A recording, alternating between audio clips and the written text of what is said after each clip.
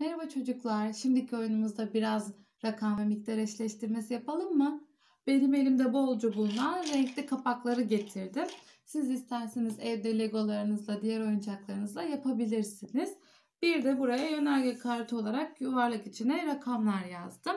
Şimdi buradaki rakam kadar üstüne kapaklardan koyacağım.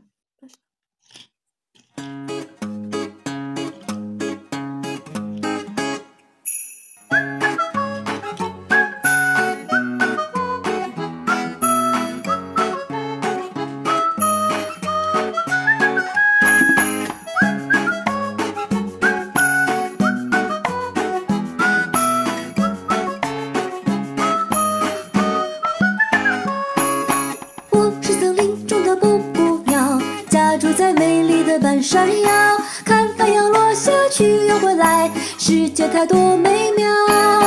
蝴蝶跳着动人的舞蹈，它的秘密没有人知道。美丽的白云悄悄哭泣，那是雨水的味道。青春